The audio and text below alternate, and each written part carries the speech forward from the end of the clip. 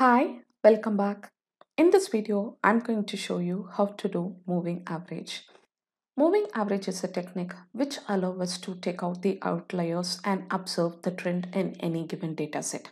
Now I will show you how to calculate the moving average. Let's get started.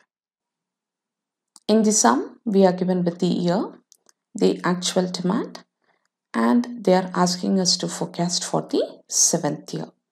When we talk about moving averages, the moving averages can be for a three year period, or it can be for a four year, or it can be for five, seven, nine, and it goes on.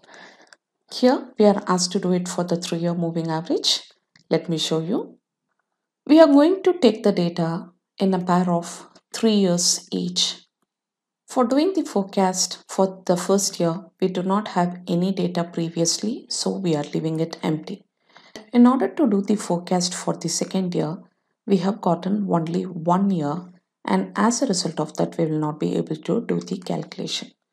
Looking at the third year, again prior to the third year, we have gotten only two year data for which we will not be able to do the calculation. For the fourth year, we have gotten three years data Starting from here, we should be able to calculate. 310 plus 365 plus 395. This is divided by 3 because this is a three-year moving average.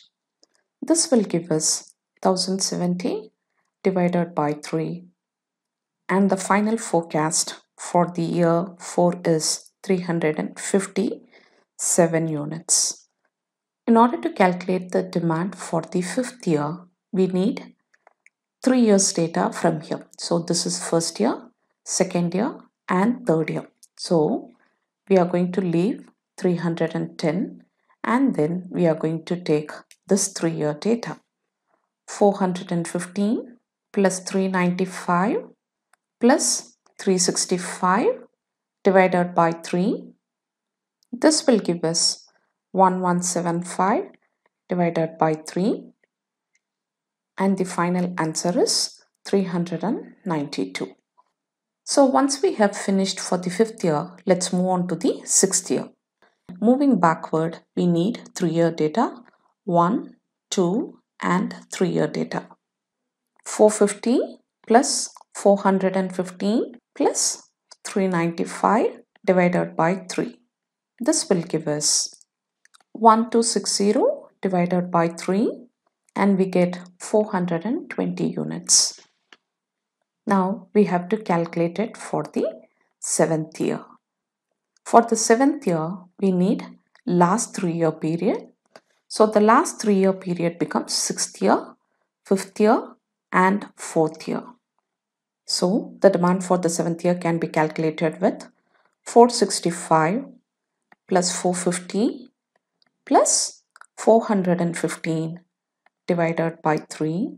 This will give us 1330 divided by 3. The answer is 443 units. The demand for the seventh year is 443 units. Say for example, if at all they are asking you to calculate for the four years, first four years data you are going to take 1, 2, 3, 4 and you will be calculating the demand for the fifth year onwards. So how many ever number of data that's given there, those number of years you're going to leave it empty. Have a look at the fourth year data. We could see the actual demand was 415 and the forecasted demand was 357 which means there is a huge variation in the way we have forecasted the data. This in forecasting, we call this as an error. Let's calculate the error for the given information. Error can be calculated only when you have the actual data and when you have the forecast data. And for the period 1, we do not have any forecast year.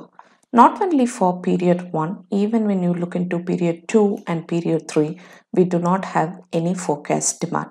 So we will not be able to calculate the forecast error for the period 1 to 3 and the same goes with the year 7 also because we do not have the actual data for 7 year. which means we have gotten the data only for fourth year, fifth year and for the sixth year. We will be calculating the error only for these years. Let's check in how to do that. For calculating the error, we are going to take actual value minus forecast value. For the period 4, we have got the actual data and the forecasted data. So we will have 415 minus 357. This will give us 58. For the second period, it's 450 minus 392. This will give us 58 again.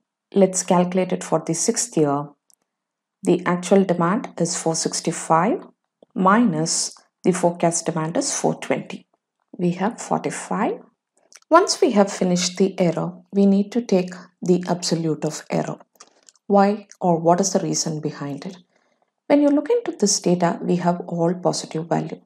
But by any chance had we had a negative value of minus 58, you can easily see this value and this value gets sorted out and we are going to have only 45.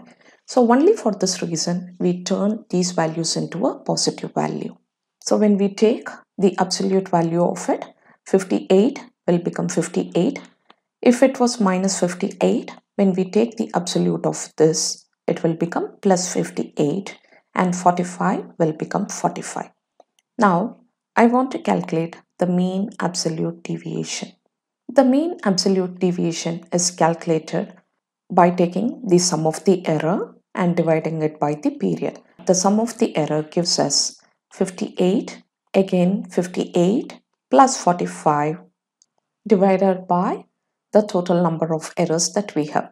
We have calculated the error only for three periods for the period 4, 5 and 6.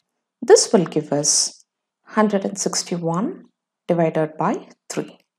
We get a value of 53.66 and we can turn this approximately to 54. So the mean absolute deviation is 54. Let's move on to calculate the mean square error. For calculating the mean square error, we are going to square the errors. 58 square will give us 3364. Again, 58 when it is squared, it will give us 3364 and then 45 square will give us 2025. For calculating MSE, we are going to take the sum of these three 3364 plus 3364 plus 2025 divided by 3. This will give us a value of 8753 divided by 3 and the final result is 2917. The mean square error is 2917. Once we have finished calculating MSE, at the next level we have to calculate MAPE. MAPE in other terms known as mean absolute percentage error. For calculating mean absolute percentage error, we need error divided by actual demand into 100. MAPE for the fourth year is error is 58 and the actual demand is 415. So for calculating this we will have 58 divided by 415 into 100. This will give us 13.97 percentage. For the fifth period, the error is 58 and the actual demand is 450. 58 divided by 450 into 100 we have 12.88 percentage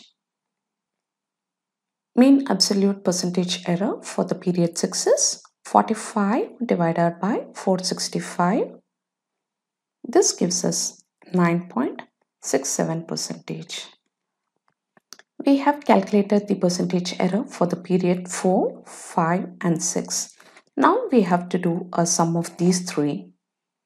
13.97 plus 12.88 plus 9.67. This gives us 36.52. We have arrived to the sum of 36.52. Now we have to calculate the mean. So we are dividing it by the total number of errors. It's for the 3 period. This will give us 12.17 percentage. The mean absolute percentage error is 12.17 percentage. We have done with the calculation of simple moving average and then we have forecasted mean absolute deviation, mean square error and mean absolute percentage error. If you have any questions, please do leave it in the chat box. I'm happy to help. Thanks for joining me. This is Karpagam signing off. Good day.